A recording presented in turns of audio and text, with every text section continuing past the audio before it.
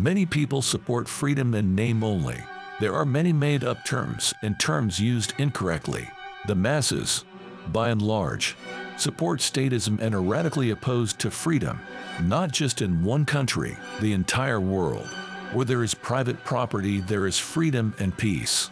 Arbitrary definitions can be used. Words have meaning. Failure to use the proper words will distort your message. Many times, this is done intentionally. An enormous amount of propaganda exists to twist the facts. That propaganda was, and is, successful. Few understand what capitalism, freedom, and private property are. Almost everything that's bad is attributed to capitalism. The world was in misery and poverty without capitalism.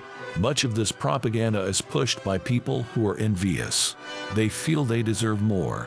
So, they take refuge in delusion. Truth won't convince the envious ones. Mises referred to this as the Fourier complex.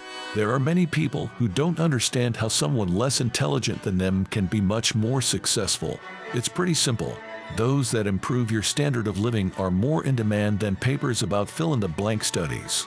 They feel their work should be appreciated more, so they want to fill the role as the philosopher king. The masses gain an immense amount from division of labor.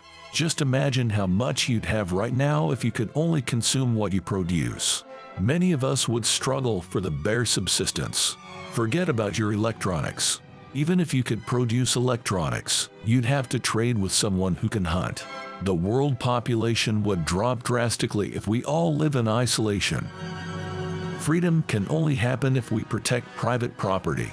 This will increase competition and improve our standard of living. The solution to monopolies isn't to create one big monopoly. Contrary to propaganda, monopolies are not the result of capitalism. It's the grant of government privilege. That's statism. The propaganda army is deranged and delusional. This nonsense can only be overcome by self-education.